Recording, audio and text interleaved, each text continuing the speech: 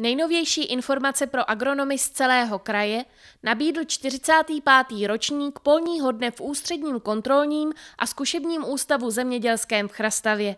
Tak letošní rok je opravdu taková podsta pro zdejší uh, odrudovou zkušebnu, protože vlastně byla vybraná jako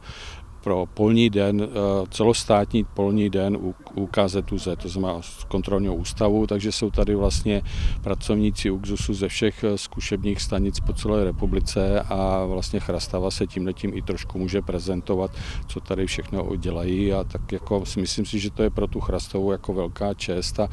a samozřejmě je i dobře, že řada těch výzkumníků, kteří jsou z jiných oblastí, protože vlastně nejbližší taková zkušební stanice je v Čáslavi, což je teda 100 km kilometrů a tady, tady ta stanice je nejsevernějc, tak můžou vidět vlastně a porovnat si uh, jejich, jejich pokusy a zdejší pokusy. Exkurze na pokusných pozemcích jediné odrůdové zkušebny v Libereckém kraji pomáhá pěstitelům v lepší orientaci při výběru vhodných odrůd polních plodin.